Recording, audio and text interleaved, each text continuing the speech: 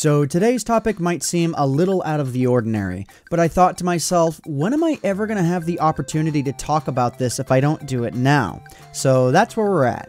Today, I want to show you guys a version of Minecraft that runs on a $10 computer, or otherwise the Raspberry Pi Zero W. Obviously, this is not a computer intended for high intensity applications. It's meant for a different breed of applications like robotics, low level emulation, along with a slew of other homebrew projects. At its core, this is an extremely simple version of Minecraft, but with a lot of potential hidden underneath the surface, which I'll be getting into a little bit in this video. It's also worth mentioning that the Pi edition of Minecraft is free and comes bundled with the Raspberry Pi operating system, so so without any further ado, let's go ahead and let's check out Minecraft on a $10 computer.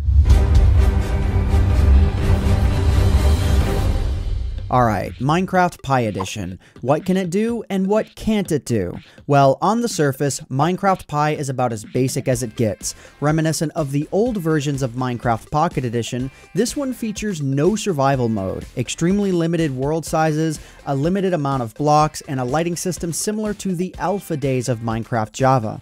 But I mean, come on, it's Minecraft on a $10 computer. You can't really expect to have a fully fledged version of the game on it. So what can you do with this version? Well, as far as the basic controls are concerned, you can walk around like normal, crouch, jump, fly, place blocks, and select from a range of blocks within the inventory screen. There are also torches for lighting and TNT, which sadly doesn't function like normal TNT by default. But that's where the beauty of this version of Minecraft comes in. Using a programming app called Python 3, which is a coding language, you can inject various types of information and instructions directly into the game live while you're playing it. It covers the basic idea of what commands are with modern, fully fledged versions of Minecraft. So let's go ahead and let's check out how this works. Thankfully, you don't need to understand the Python coding language to get started with tweaking Minecraft Pi. RaspberryPi.org has an excellent rundown of what you can do to get started. While I won't be showing every single item on their list, I do want to touch on a couple of them. If you're interested in the full details, links will be in the description down below. So alright, let's check this out. With the Python shell and Minecraft open at the same time, I'll press tab in-game to free up the mouse and type in various commands in the Python window. To output text into the chat, I first type these two lines, which opens up a connection between Python and Minecraft, and then I type in this third line of text to send a chat message directly into the game. So that's pretty neat and all, but I want to go crazy.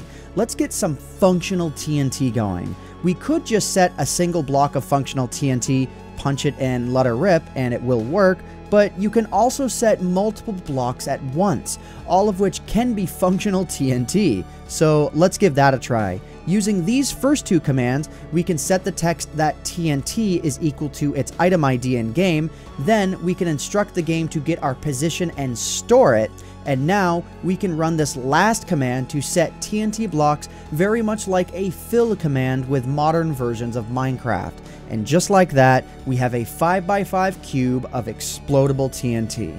This may not seem like much, but it'll certainly push the limits of this little tiny $10 computer. So let's let her rip.